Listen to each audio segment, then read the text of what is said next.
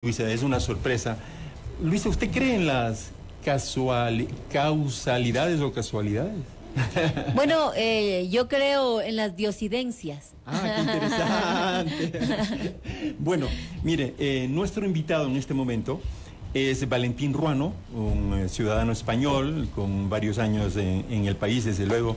Es médico metafísico hizo un estudio relacionado con los candidatos a la presidencia de la República. Pasamos con Valentín para que por favor gentilmente nos, nos diga qué destacó este estudio y qué resultado trajo. Muy buenas tardes, muchas gracias. Hablando de la candidata de Luisa, lo que dije además está grabado y va a salir el jueves o el viernes en un podcast que creo que es una persona que usted conoce. Juan Delgado, Juan Sis. sí. Bueno, pues hice un podcast con él viendo a los ocho candidatos. Y de los ocho candidatos, lo que vi en ese momento es que usted es la persona más preparada para dirigir el país. Por una razón muy evidente, o varias. Una, porque es mujer, tiene una sensibilidad especial.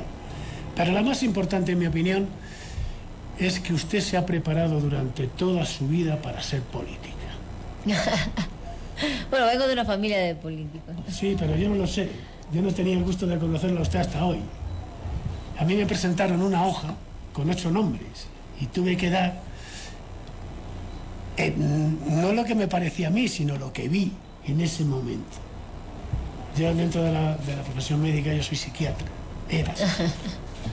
Entonces los psiquiatras tenemos la, la idiosincrasia particular de que observamos mucho, porque normalmente un paciente nuestro no es que quiera engañarnos, pero siempre va a tratar de hacerlo.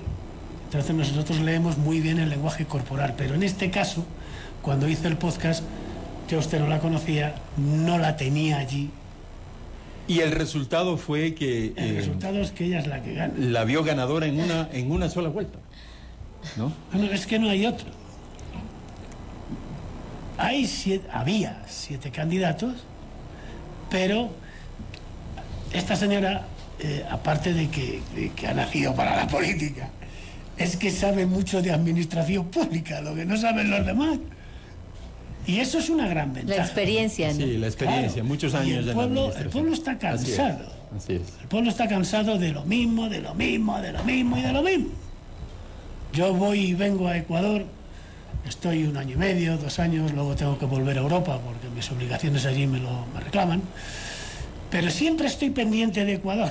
Y qué bueno, qué bueno. Y, y te quiero agradecer muchísimo, Valentín, por, por traernos esta información, que fue una sorpresa realmente. Valentín, muchas gracias por entregarnos esta información. Valentín se va a unir a- al eh, Grupo Sonorama, desde luego, con un programa relacionado con estos temas. Y, y qué bueno entregarle esta información, eh, ratificando el deseo de, de Luisa y de Pero, todo su, su partido político. un inciso de un por favor. minuto, si usted tuviera que preguntarle al destino, hacerle una pregunta del tema que usted quisiera, ¿qué le preguntaría? A ver, eh, ahí me la pone complicada porque no soy de preguntar al destino. Yo eh, soy una mu- mujer de visión a futuro, ¿sí?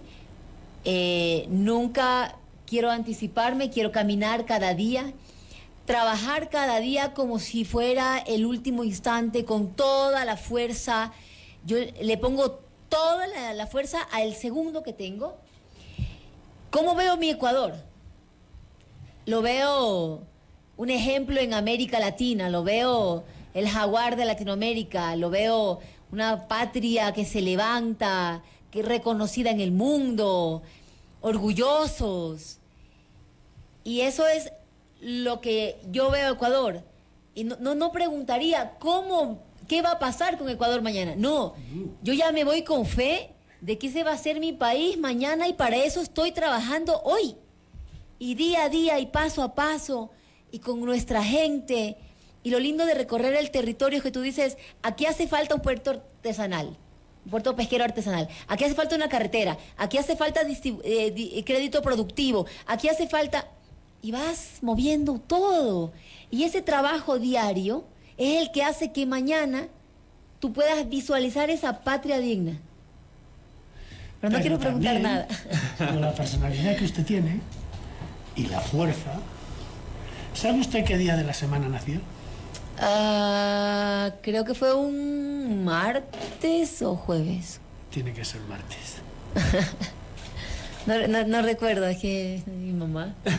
Mami, ¿qué día nací? Eh, si es el martes, su arcángel es Samael, que es el arcángel de la fuerza. Cada Qué vez que usted... bueno, fuerte soy, ¿eh? Sí, sí, no, Bien es- fuerte. es Físicamente también, así me vean flaquita. Es usted escorpión.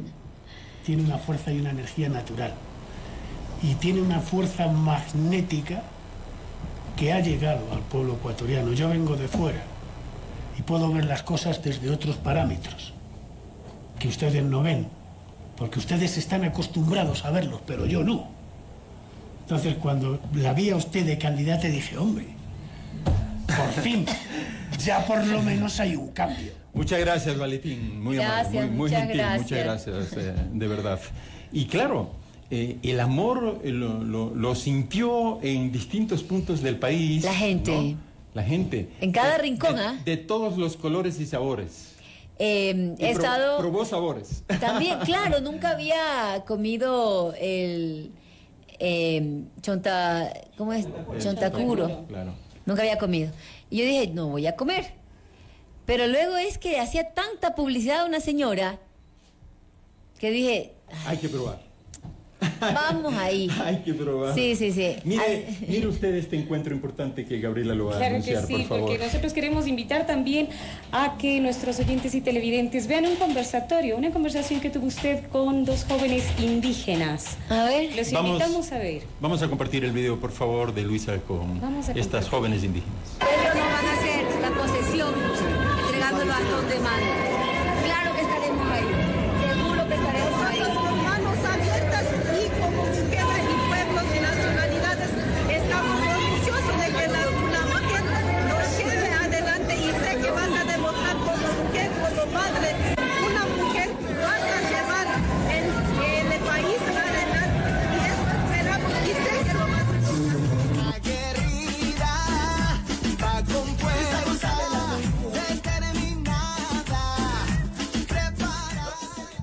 tiene preguntas, Luisa.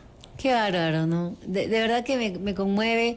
eh, mujeres indígenas de todas las edades me han dado la bendición, me han dicho cosas muy lindas. Eh, me recuerdo siempre también una mujer afrodescendiente. Eh, Esta historia es muy bonita porque ella estaba como un poquito alejada y no quería acercarse y no quería acercarse y alguien